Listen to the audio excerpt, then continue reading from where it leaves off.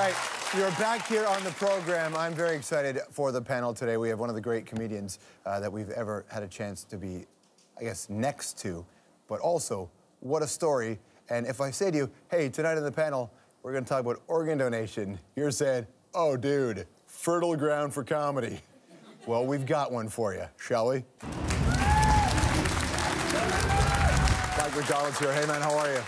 Good to see you. How are you feeling?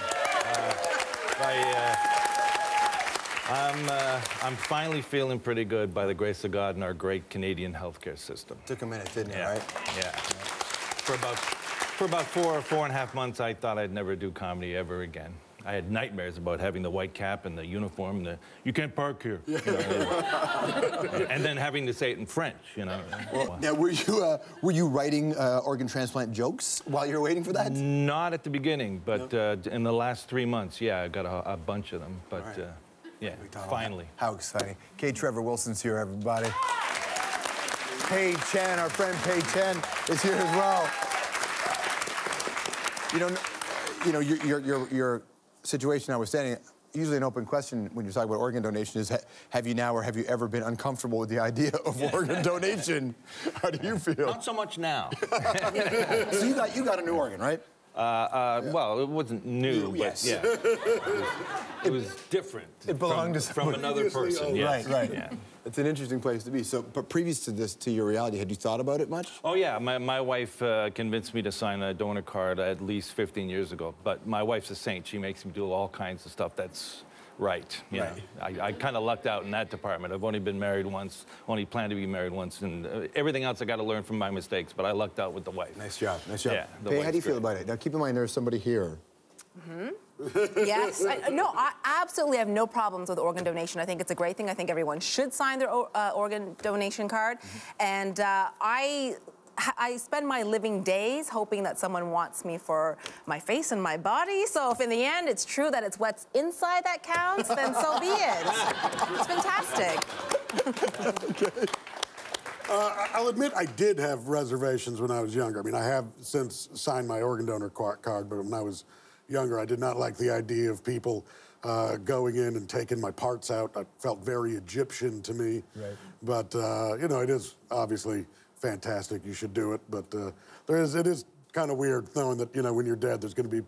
Like I'm, I'm, I don't like people fishing around in my closet, and people are going to be fishing around in my stomach. And, uh, That's fun. yeah, Twilight Zone episode where someone got a murderer's hand and Yeah, yeah. well, that's where it all started, that kind of thinking. You know, people still believe that, which is stupid. Yeah, There are those fears and taboos that still exist, right? Oh, yeah. Which other ones have you heard about? Oh, uh, there's the one that uh, if uh, if you're near death and you're an organ donor, that uh, the the doctors or the paramedics aren't going to try as hard to save you because they need to harvest your organs. Right. That, uh, Which is a movie next week. no, okay. In a great, do you have any fears about it? No, I mean, I read this article about um, cellular memory uh, in organ transplants, and that's where the recipient takes on some of the preferences and the interests of the donor. And they've have a few documented cases about this. I don't know if you've heard that. So my fear is that if I ever needed an organ transplant, I mean, I'd be very grateful for it, but I would be afraid it would come from like a 19-year-old boy, and then suddenly my life is filled with like video games and microwave food and porn. like, Have you noticed any difference in you? Uh, I, I sincerely, I, I sincerely believe that the guy that I got it from was a lot more emotional because I'll find myself watching, like my wife loves that show, uh, Wh- What Not to Wear, Right. and I find my, I'll sit there and I go, oh, she does look better with that haircut, you know. It's like, oh, you know, so, you know, I cry at the drop of a hat now, you know. so, you know. Which one of your organs do you think is the most valuable? uh, my, Yeah. it's barely been used. Uh, I, I, haven't. I haven't seen it in years, but I hear it's Yeah. gorgeous. Mint condition.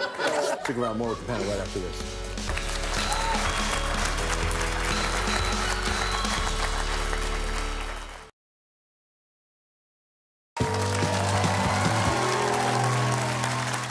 All right, you're back here on the program. Mike MacDonald's with us on the panel. Go to strombo.com for the amazing story uh, of your medical journey. How, how do you feel just knowing that that part of your story is out there now? Uh, I think my manager put it to me very succinctly. He said most people have to die before they hear all the positive stuff, and I was lucky enough to still be alive to hear about it. And basically, my fans on Facebook carried me, You know, I mean, without their generosity, I wouldn't be here. It made a real difference, didn't it?